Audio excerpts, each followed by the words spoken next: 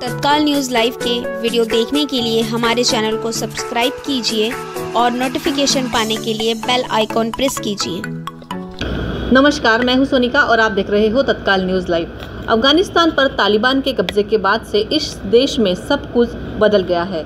ज़्यादा से ज़्यादा लोग बस किसी तरह से देश छोड़ना चाहते हैं। अफ़गानिस्तान ने निकलने के बस एक ही रास्ता बचा है, काबुल एयरपोर्ट। यहाँ की सुरक्षा अमेरिकी सैनिकों के पास है। काबुल एयरपोर्ट पर करीब ढाई लाख से लोग की भीड़ है जो अफ़गानिस्तान छोड़कर जाना चाहते हैं। हालत ये है कि एयरपोर्ट पर भूखे पैसे इंसान दम तोड़ रहे हैं। इस बीच बड़ी खबर आई है, कि एयरपोर्ट पर खाना और पानी के दाम आसमान छू रहे हैं।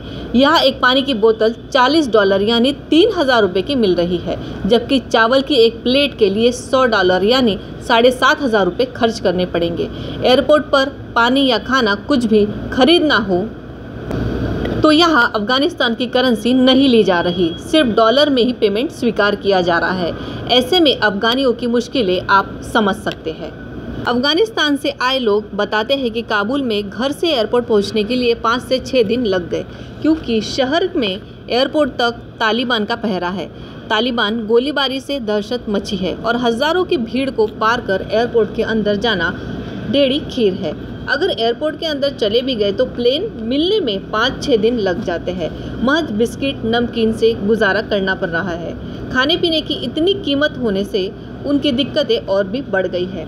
अफ़गानिस्तान की हालत ये है कि बच्चे माता पिता के भी अफ़गानिस्तान छोड़ रहे हैं। खाना, पानी की कीमत इतनी ज़्यादा बढ़ने से भूखे लोग तड़प रहे हैं। उनका हौसला अब जवाब देने लगा है। शरीर कमज़ोर पड़ रहा है और वो बेहोश होकर गिर रहे हैं। ऐसे में तालिबान लोगों की मदद करने के बजाय उन्हें डरा रहा है। मारपीट कर रहा है।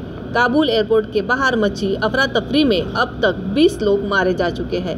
काबुल में अब तक बयासी लोग सुरक्षित बाहर निकाले जा चुके हैं और करीब 6000 अमेरिकी काबुल पाए गए हैं, जिसमें से साढ़े चार हज़ार लोगों की सुरक्षा बाहर निकाल लिया गया है।